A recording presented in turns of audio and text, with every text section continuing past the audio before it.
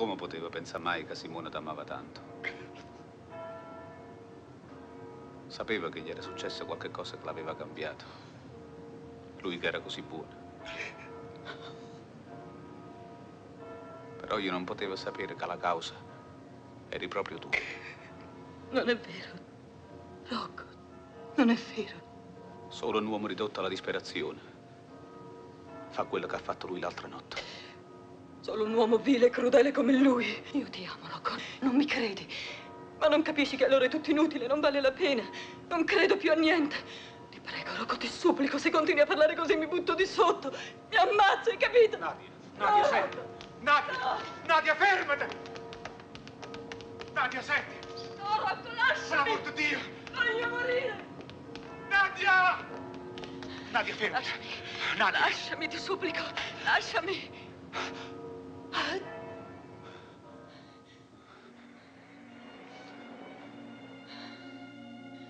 Tu mi hai teso una mano.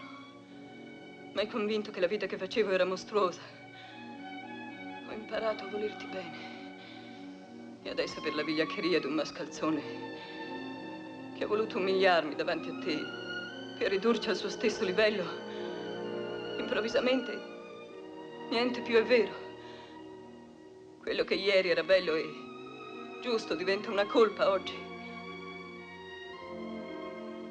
Tutte e due siamo colpevoli. E io più di te. Tu devi tornare con Simone. Che cosa dici? Simone ha bisogno di te, non tiene che te.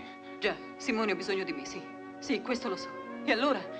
Anch'io però conto qualcosa. No, Rocco. E allora dimmi, che cosa vuoi fare? Solo tu lo puoi aiutare, Simone. Ah, è pazzo, pazzo!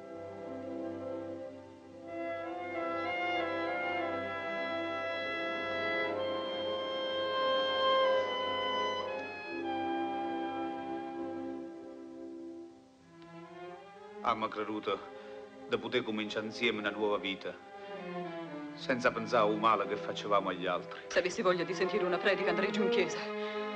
Ti amo, Rocco, ti amo. E anche tu mi ami, che ne faremo di tutto questo amore? Perché mi tormenti così? Non ci vedremo più, Nadia. No, no non è possibile. Non è possibile, Rocco.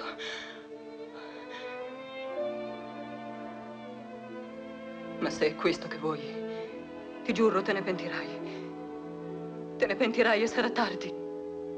Ti odio, ti odio, ti odio, ti odio.